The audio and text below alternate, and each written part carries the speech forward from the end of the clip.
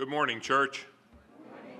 We're reading today from 1 Peter chapter 3, beginning with verse 18 and reading into chapter 4 and verse 6. 1 Peter chapter 3, beginning with verse 18 and reading through chapter 4 and verse 6. For Christ died for sins once for all, the righteous for the unrighteous, to bring you to God. He was put to death in the body, but made alive by the Spirit, through whom also he went and preached to the spirits in prison, who disobeyed long ago when God waited patiently in the days of Noah while the ark was being built. In it, only a few people, eight in all, were saved through water. And this water symbolizes baptism that now saves you also, not the removal of dirt from the body, but the pledge of a good conscience toward God. It saves you by the resurrection of Jesus Christ, who has gone into heaven and is at the right hand with the angels, authorities, and powers in submission to him. Therefore, since Christ suffered in his body, arm yourselves also with the same attitude, because he who suffered in his body is done with sin. As a result, he does not live the rest of his earthly life for hum- evil human desires, but rather for the will of God. For you have spent enough time in the past doing what pagans choose to do, living in debauchery, lust, drunkenness, orgies, carousing, and detestable idolatry. They think it strange that you do not plunge with them into the same flood of dis- dissipation, and they heap abuse on you. For they will have to give an account to him who is ready to judge the living and the dead. For this reason, the gospel was preached even to those who are now dead, so that they might be judged according to men in regard to their body, but live according to God in regard to the Spirit. May God's blessing be added to the reading and the hearing of His word. 20 year anniversary of the terrible attack on our nation on 9 11 2001. I'm sure all of us who are old enough to remember knows exactly where we were when that moment occurred.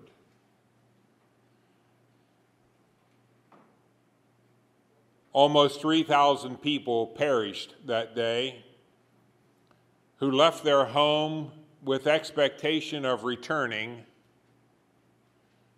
only for it not to be so. It precipitated us into a war that lasted for 20 years.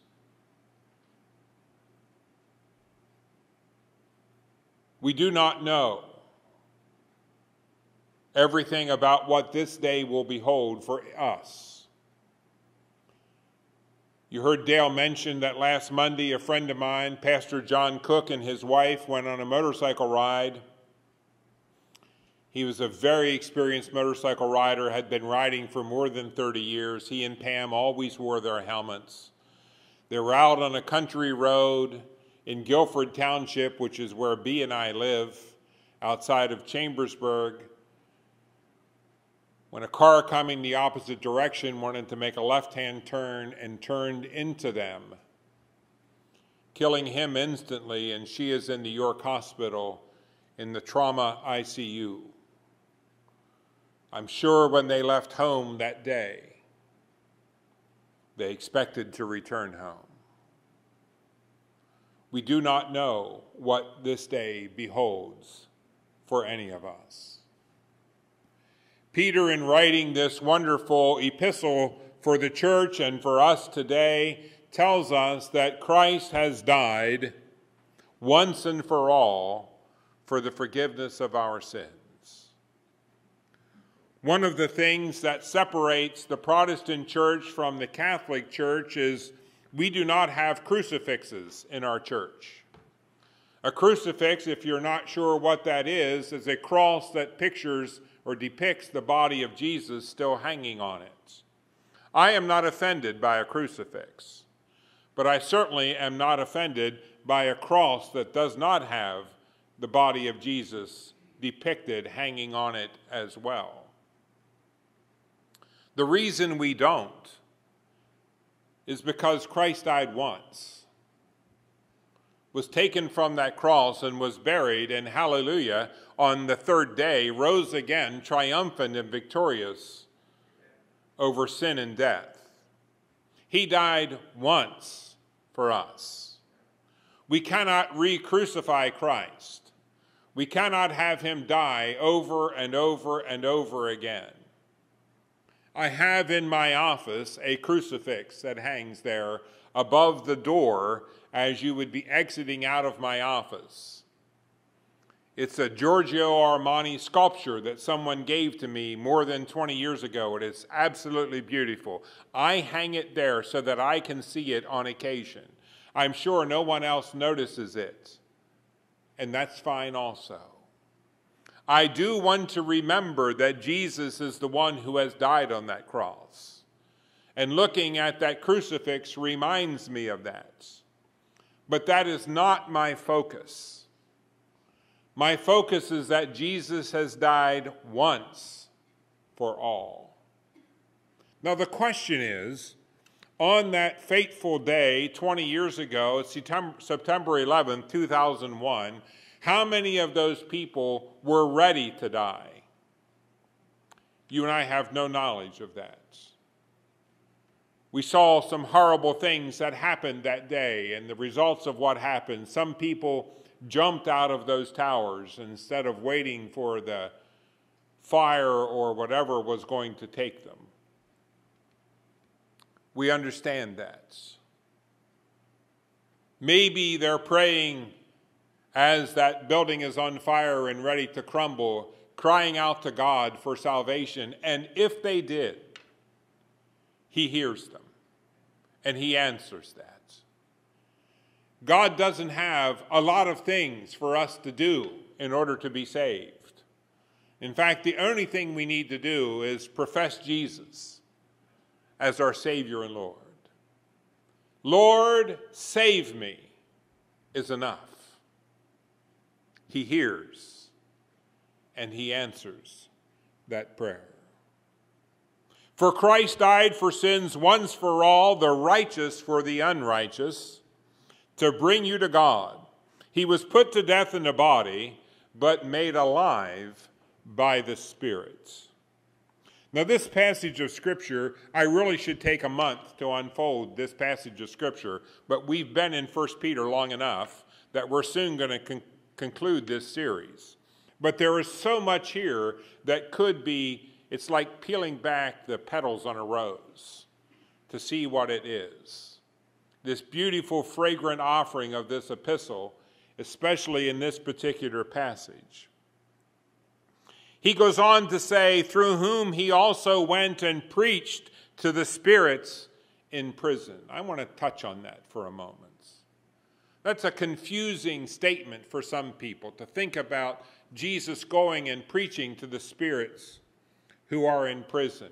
Now, by that, we don't mean the York County Jail or the Lancaster County Jail or any other penitentiary that we might have in this country or any place else in the world. Jesus tells us several stories in Scripture. One of those stories is the story that he tells us in Luke chapter 16 of a rich man and Lazarus who both die. The rich man and Lazarus. Now you notice that the poor man, Lazarus, is named, the rich man is not. You remember the old, uh, what was it, uh, show? Names have been changed to protect the innocent. Well, this man's not innocent. He's, he's the rich man. He's not named. The rich man in Lazarus' story is this, essentially. These two men died. One of them has all the world's wealth, the one of them is a poor man who lays at the rich man's gates. He has had poor health, he has no wealth, and he has begged for his subsistence. They both die. One of those men goes into a place of torment. That's the rich man. The other one goes into a place of comfort that Jesus calls the bosom of Abraham. Now, the bosom of Abraham is a place of comfort, one where when you go there, you can be cared for and loved and all of those kinds of things. And it depicts for us all of the people who die prior to the death of Jesus Christ. What happens to them? They go to be comforted in the bosom of Abraham. Nearby is a place of distress and uncomfort, and that is where the rich man is. In fact, in this story, the rich man says to Jesus, Send someone back to tell my brothers. No, it's not the way it works. We have the witness of God Himself, we have the witness of Scripture, and they can read this and understand it for themselves. Well, have Father Abraham dip his finger into the water and touch it to my lips because I am so parched and dry. It isn't going to happen. Meanwhile, Lazarus is being comforted in the bosom of Abraham.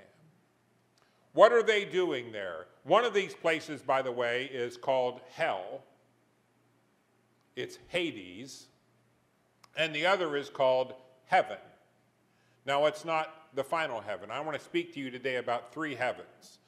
Uh, the Apostle Paul writes to us in 2 Corinthians chapter 12 and verse 2 I know a man in Christ who 14 years ago ascended to the third heaven. What does that mean? We're going to explore that a little bit today. So, this is the first heaven. It's the, the bosom of Abraham, it's a place of comfort. It's certainly far superior to being in hell and being tormented and being parched and dry and unable to even resolve your own physical pain or anything of the sort. And so this is that first hell and that first heaven. Now, I don't have time to unpack this completely. Some of you have roast beef in the crock pot or something like that. She told me that on Wednesday at Bible study. I had to wrap it up. She had roast beef in the crock pot. I couldn't stay, I couldn't talk too long. She knew that was going to come back to haunt her.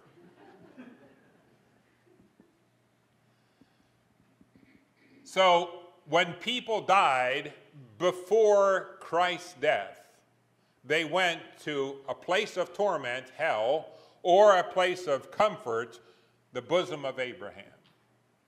Now, we know the story of when Jesus is on the cross. There are two people who are crucified as well, one on the right and one on the left. And one of them berates Jesus, and the other one listens to what is happening, and he cries out,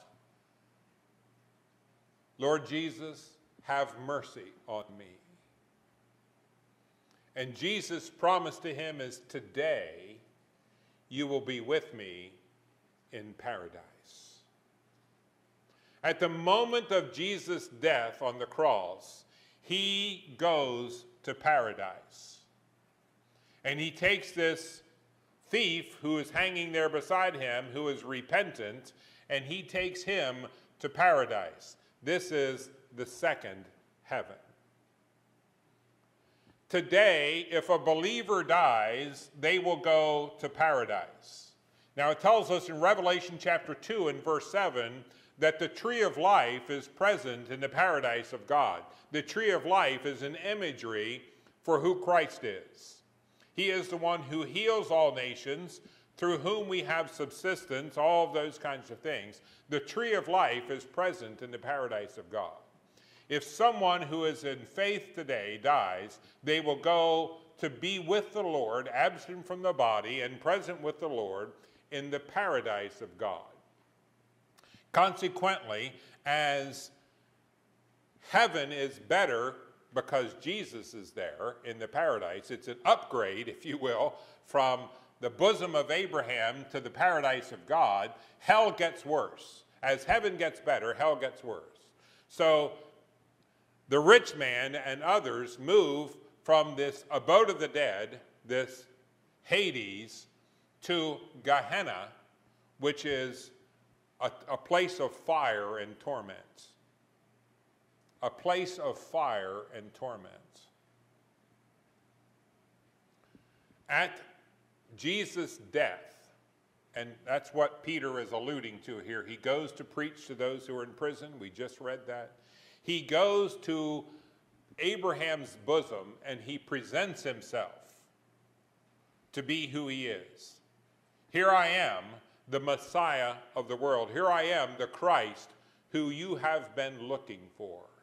You know, all these men and women, Abraham and Sarah and Moses and many others, have been looking for the Christ.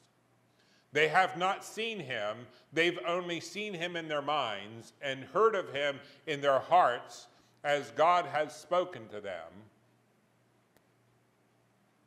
But they have not fully understood him until Jesus goes to Abraham's bosom and he leads them in his train to the paradise of God. Consequently, those who are with the rich man in this place of Hades now move to Gehenna. Even more suffering, even more torment than before. But we know the scripture tells us when Paul writes, I know a man who 14 years ago ascended to the third heaven. There is a heaven to come. John in the book of Revelation describes that heaven for us. This paradise, if you will, this beyond paradise, if you will, this city of God where the streets are paved with gold, where the walls of the city are made with these beautiful gemstones, where the throne of God sits, and where the river of life flows through. How marvelous that picture is for us in the book of Revelation. This is the third and final heaven. So, a believer who dies today doesn't go to heaven, the eternal city. We go to the paradise, the garden, if you will. That's the same word for garden as in Garden of Eden. We go to the garden. But we will someday go to the eternal city, the New Jerusalem. Consequently, the scripture also tells us both death and Hades are cast into the lake of fire. So, as heaven gets better, hell gets more hellish. The only way for us to get to heaven is through the Lord Jesus Christ.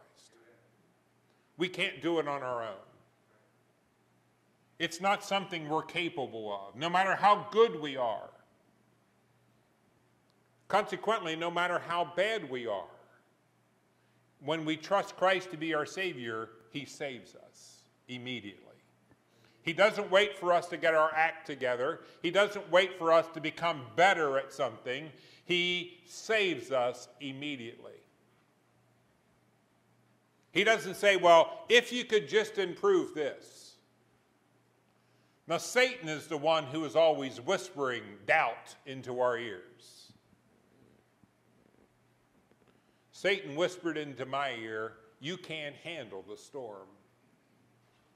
So I said to him, Well, at least I'm not fool enough to lose my golden fiddle to some hillbilly in Georgia. I can't do this on my own. I need Jesus. You can't do this on your own either. You need Jesus. And the reason we need Jesus is because he is the sinless sacrifice who has taken upon himself the sin of the world so that we might have the hope and the gift of life everlasting. And through faith in Jesus, heaven is assured for us. Isn't that a wonderful thing? Jesus goes to the abode of Abraham's bosom. He presents himself there. He leads Abraham and Isaac and Jacob and Moses and all the great men and women of faith, including Lazarus, who has died, and he takes them to the paradise of God, to the Garden of Eden, if you will, and he keeps us there until that day when the new heaven will descend from the sky, the city of God, the new Jerusalem, with streets paved with gold, with walls made out of beautiful gemstones, with the mansion of God present there for all of us, until that day when we as believers die in faith, we will be comforted by God. We need Jesus. There is nothing apart from faith in Him that can give us any hope whatsoever. But if you have Jesus, you have everything. There's nothing else needed. No matter what your life's situation is, if you have Jesus, you have everything in that first story that we told, this parable, if you will, of the rich man and Lazarus. The rich man had everything, but he had nothing because he had no faith. Lazarus had nothing. He had none of this world's goods. He laid on his side and begged for alms as people were passing by. He scratched himself with a piece of broken pottery to kind of give a little bit of relief to the boils that covered his body. He had nothing, but he had faith. And because he had faith, he has everything. You and I have everything through faith in the Lord Jesus Christ. It doesn't matter what this world has for us. Doesn't matter whether you have a lot of things or nothing and I think we all have a lot of things, would be my guess. When you have Jesus, you have everything. Jesus Christ has come. He has died for sins once for all, the righteous for the unrighteous, to bring you to God. He was put to death in the body, but made alive in the spirit through whom he also went and preached to the spirits in prison who disobeyed long ago when God waited patiently in the days of Noah while the ark was being built. You know, I think about Noah a lot. I love doing woodworking. I go over into my shop and I love to tinker over there. I can take a perfectly good piece of wood and make splinters out of it. I burn up all my mistakes in the fire pit. Sometimes we roast a hot dog over my mistakes. I think about Noah a lot. How many years he labored to build that ark and how he preached as he was building, and seemingly there are no converts. For years and years and years, he built that ark. The neighbors mocked him and laughed at him. He said, It's going to rain. They said, What's rain? You know, until the day it rained, it had never rained. God watered the earth by mist, by vapor, by the springs, but it had never rained until it rained. And when it rained, God meant business. He labored on that ark, he preached, and he had apparently no converts. And when it was finally time to go into the ark, God appointed Noah to go into that ark, he and his wife and his sons and their wives, eight people in all. All the animals came two by two and went into the ark, sometimes as many as seven of them. They needed to have something to eat and they needed to have sacrifice. And when they were all in there, the scripture says God shut the door. Someday, God is going to shut the door in your life. Last Monday, when my friend John got on his motorcycle, as he had done hundreds and hundreds of times before, God shut the door. Now, I know my friend John was inside and not outside.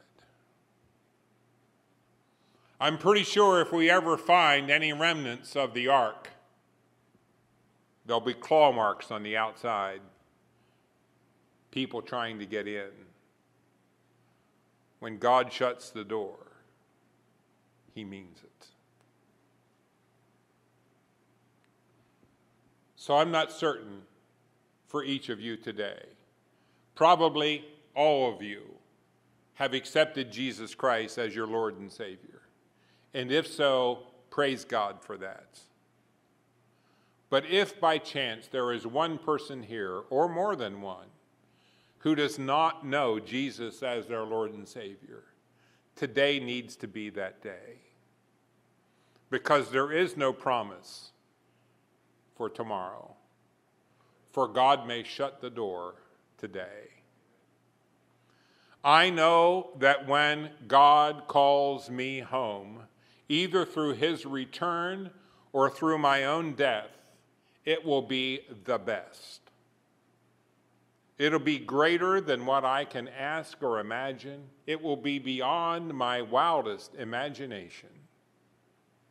And I look forward to that day. In the meantime, He's given me work to do, and I intend to do it as long as I can draw breath. I don't know when that day is going to be and neither do you. So if you are here today and there is any moment of uncertainty, any doubt in your mind about your soul's salvation, I'm going to ask you to commit your life to Jesus today. I promise you it pays an eternal reward. Don't leave here with any doubts in your mind at all about who this Jesus is. He is the one who was the righteous one, who became unrighteous for us, so that we, as the unrighteous ones, might become righteous in him. Oh, what a day that will be. Pray with me. Heavenly Father, we are grateful this day for who you are and grateful for the fact that you love us enough that Jesus became sin for us on the cross. God demonstrates his love for us in this that while we were sinners, Christ died for us. Paul writes in Romans 5 and verse 8. Oh Lord, we are grateful today. We're grateful for the love that you have shown us, for the gift of salvation that you make readily available to us. Lord, if there is someone here today, give them the boldness to profess and proclaim Jesus today. For we pray this in his name. Amen.